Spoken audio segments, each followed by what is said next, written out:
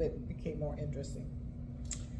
Um, unskilled workers were advised to train for future jobs as demand will exceed supply.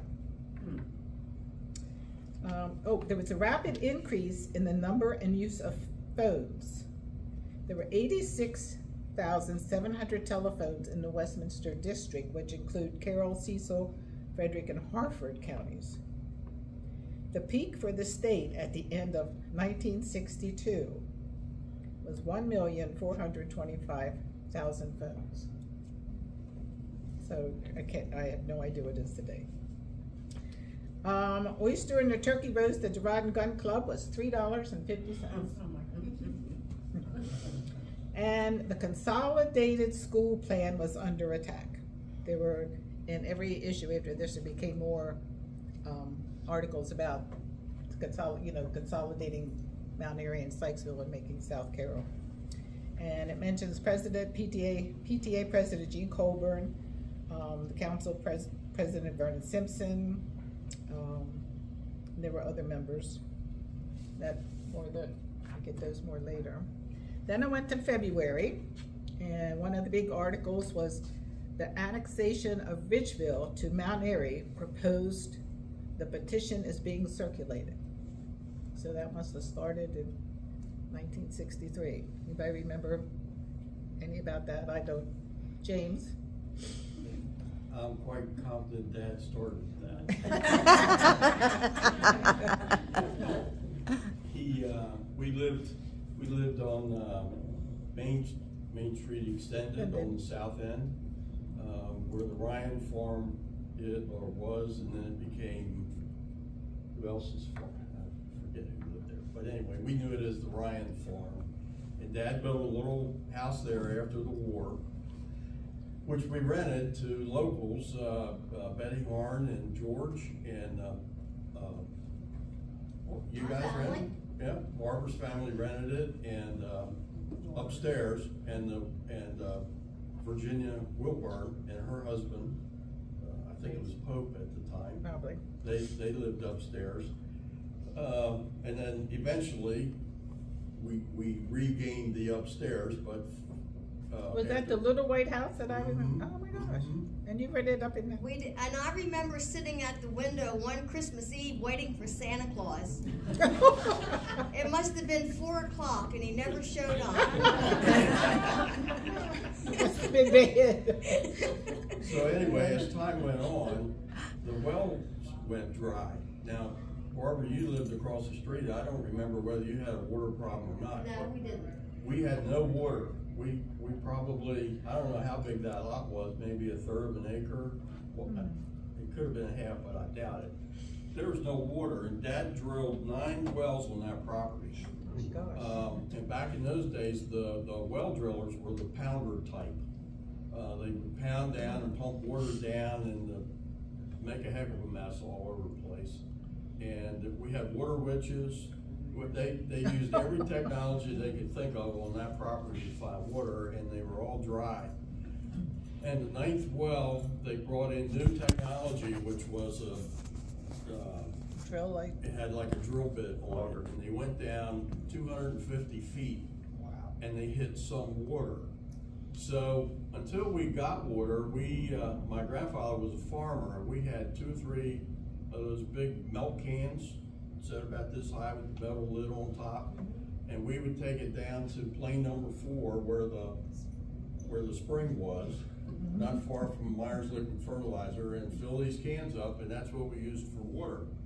Well, Dad had enough of that, and the town, I think at that time, had, had their own water system, I guess, I don't, I don't know, I don't know the details, but I assume they did. So, um, he started a petition to annex Ridgeville all the way out, I guess, the Ryan Farm as well, in, into the town. I don't really know where the property line was, but I know it included the little white house. Um, and so it was a big deal. Dad had never done anything like that before. And, um, there was a lot of excitement, kind of like what still goes on, you know? And, uh, the big antagonist to, to Dad, and these guys were friends. I mean, everybody was local, it never got nasty or bitter, was, uh, Pierce Ballas. Oh, So where's Pete, you know, he could. Yeah, He was coming tonight. Huh? He Oh, was coming tonight. He said as a surprise guest, but he had something else It's came too up. bad he's not here, uh, but, um, and, and Pierce and Dad were friends, so there was no, but they were on opposite sides of this one. And eventually, the, the council did annex to Ridgeville, obviously. Yeah, it- But it seemed to me it got complicated. I don't know whether you had to have a second petition I or think it it got did. voted down once. I think it was, if I Yeah. remember correctly. if They had to go in a second time. Yeah, he didn't give, he wasn't giving up. I mean, it was crazy. We didn't have water out there. Yeah. So. That's why we were in the country. Yeah, yeah, but we're not in the country. Oh, the phone is out. Yeah. Okay.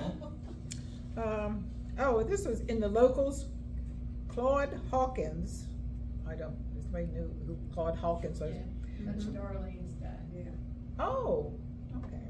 What's the first name? Claude. Called? just returned from a chinchilla show of the eastern branch of the National Chinchilla Breeders of America in Towson. There were 399 animals shown. He got a second place, a fourth place, and three honorable mentions. Okay. Um, oh, and there was a public hearing set to give consideration to a Damascus, to Damascus rezoning for a shopping center. Way back then, so I guess that's the one behind McDonald, one. the only one. There isn't any other. The basic one of it, yeah, before it was added on. Then there was a big picture of Hanford Moxley, and he was sort of sitting, some strange face, but his picture appeared in a five-part series on heart research distributed by Newhouse National News Service, which serviced 14 newspapers and had a circulation of 5 million readers. First articles dealt with emotional stress. Oh, I guess they, see, he must have had heart trouble in that. He worked for NIH, so I guess he found the you know, study that way. The appeal board gives the okay for the swimming pool. Oh, and then uh, here and there, there was a article on tonic. Let's see which one is. All right, I put two or three on here, so. um, Oh, it's upside down. Need a con- tonic? John Wesley's prescription for good health. Observe exactness in your manner of living. Use a plain diet. Go to bed early. Above all, add the old unfashionable, unfashionable medicine, prayer. Be as clean and sweet as possible in your house, clothes, and furniture.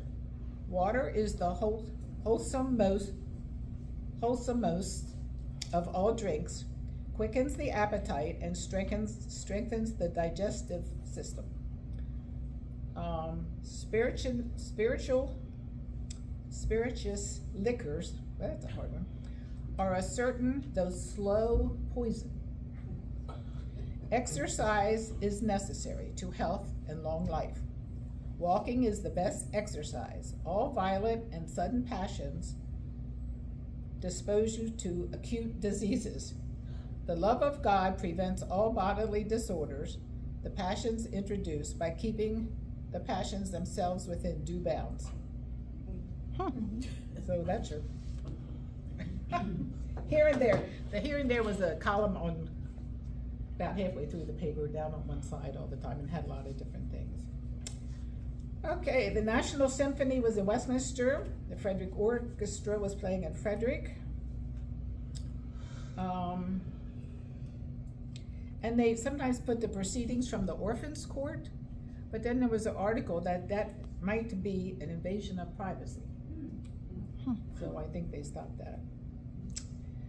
Um, oh, here's an interesting one. 60 years ago, evidence against cigarette smoking is mounting. There's a direct link between damaged lungs and heart on one side and cigarette smoking on the other. Lung tissues changed by Smoking can lead to emphysema, respiratory diseases, and cancer. Nobody believes. So we knew that 60 years ago. Nobody Mhm. believes. Okay, um, oh, then there was a search launched for Outstanding Mother of 1963.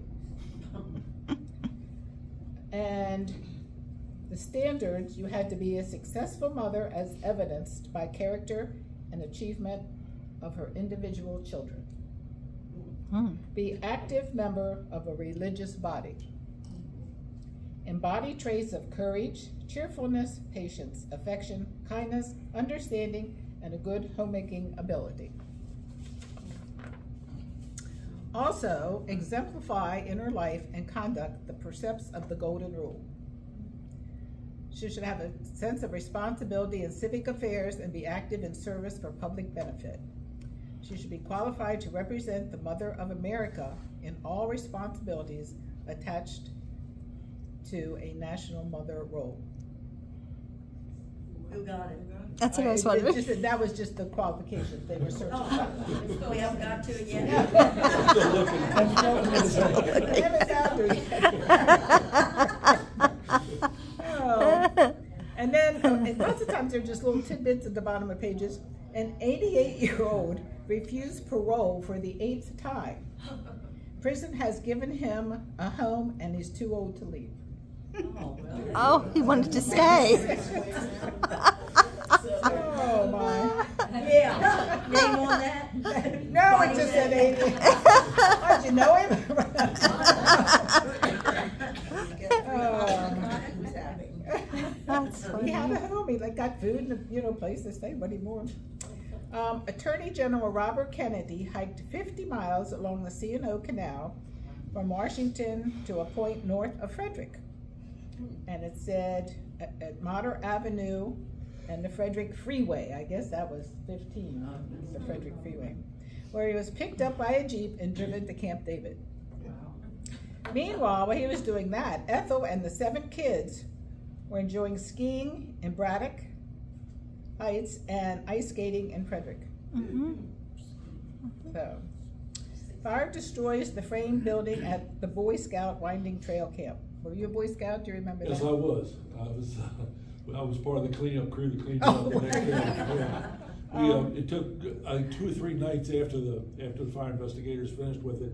We cleaned it all off, used the same foundation, and in about a month's time rebuilt the cabin. It said it was rebuilt later, but it said it was tied into, um, they thought it was tied into a break-in at the Rod and Gun Club across the street. that's what they, they thought, and this guy, he left tracks through the snow down to that building. Mm-hmm. And that's how they figured it caught fire, because they actually so- found the tracks coming through the woods to the building and tracks coming out of the building back out. So they assumed that that's, that's how it's. Did they ever catch anybody, do you know? Not to my knowledge. No. Have you ever heard that the um, old bowling alley down by the bank, the lanes were used for the flooring at the scout camp? Larry Hushhour said something to me about that. Mary's shaking her head. Yeah, that's what we were told by um oh what, uh, he passed away. Um so his or his last name started with a I thought an O and he he lived right on that house on the corner of Lookout and um, Park. Uh, Tom Ogle. Ogle, that's right, Ogle. Yeah, yeah, that's who. That's possible because Tom was big in the scouts at that time, so he may uh-huh. have good He's a information. forever Boy Scout, he and Charles Goodell. Yeah, uh-huh. and Charlie was the oldest scout around. huh? Yeah, oh, Tom was trying. Yeah, but it was rebuilt, yeah. Then the junior high school presented two one-act operettas. The seventh grade was called Molly Be Jolly. Had Connie Glenn, who's Connie Bly, Gerald Mundy, Larry Cullison, Wayne Logue, and Debbie Moxley. The eighth grade presented Dream Ranch. Frank Durstball, Terry Baker, Sally Myers, Francis Wilder, and was supported by, I guess they were directors Polly Myers and Edwin Wiles. Do you remember your sisters in that or? I was in college, I was. Oh, you you didn't come home for the apparatus? Oh, my. Oh, then there was a baby shower from Mrs. Albert Shell Centerpiece of the table was a three-tier cake attractively decorated in pink and blue, made by Susan Baller.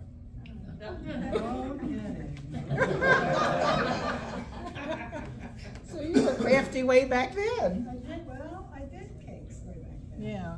Did you remember that one or? Not particularly. Three tiers, that's pretty good. You know. Pink and blue. not open for business. Oh, not a. That's a ca- class you could have at your B and B, cake decorating. Well, that's another discussion. Oh. Okay, then we're into March of nineteen sixty-three. And they were having youngsters' photos to be featured in the newspaper. This was a series fe- called Citizens of Tomorrow. And they were gonna have you bring out your kids and have their picture taken, and then they appear various times in the Community Reporter. Um, there was a, oh, there was a opportunity to catch a likeness of your child at the present stage for the pleasure you will get out of it in the future. There was no charge. I don't know whatever happened with that. And when you've looked through, have you seen any pictures of kids in the other ones? There were many, Were there? many times through, yes, Yeah. because I remember seeing the Mike. Lomans. Was Mike and- in there? Yeah, I Mike was in there, All the yeah. Lomans were in Oh. there, yeah. oh, So it did, was yes, something it- that happened? Yeah. mhm. Huh, I must not have been in it. Well, I was older than that. Well, I was, we were what, sophomores in high school in sixty-three. Oh, there's the Boy Scout campus then, okay. Oh, the Druid Theater was presenting West Side Story. Um, this one, I don't think you could put in today.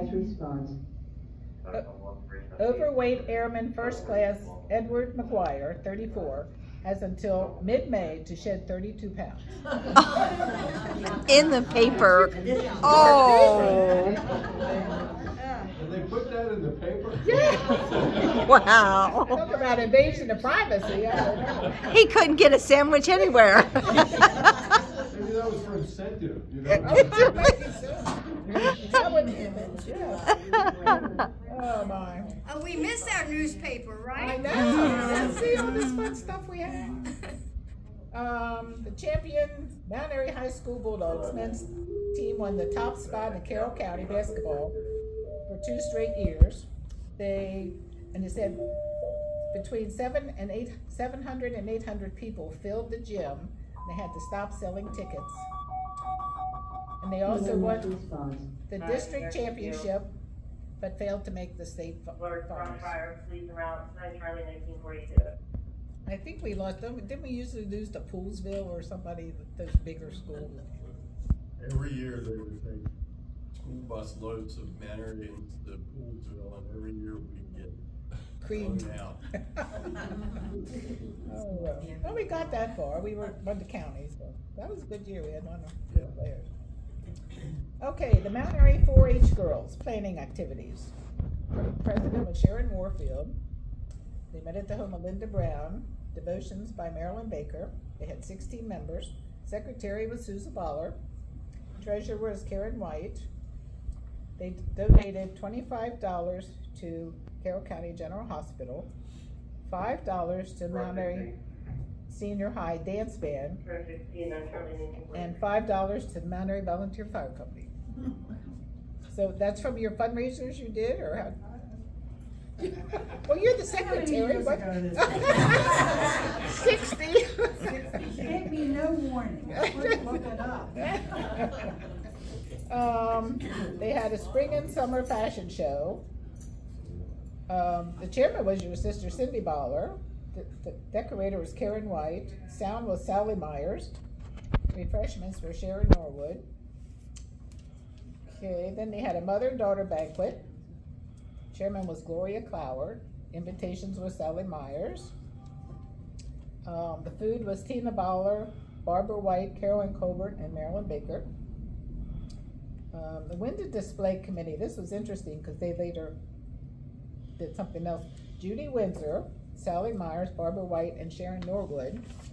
And they later won, so it comes up in another article that they won uh, the over, the county prize for their display in the window. Okay, Ridge Swimming Club membership drive underway and prospective members to view film on spool, on the pool construction. And the miniature exhibit was in the window of the Griffith Consumers, which was the division of Hood and Grimes. Miss Helen Whitty becomes new editor of the Reporter and succeeds Eveline Moxley. I don't think I remembered Eveline was a, Yeah, I remember her. yeah. Sure, she was. Yeah. Um, Mount Airy firemen called out about three thirty Wednesday afternoon to extinguish a fire. Well, no, no, it wasn't in the afternoon. Well, yeah, exploded in the trailer home of Carl Anderson of Parrsville. But it said there was no damage. Well, how can something explode? and- Killed him. It did? Yeah, he died in the fire. Well, the article didn't have that. He, he died in fire in that trailer. Oh, my God! I don't know if it was that fire, but it was, he died in fire in trailer, one of the first fire towel for Talthy's in this area. Really? Yeah. Hmm.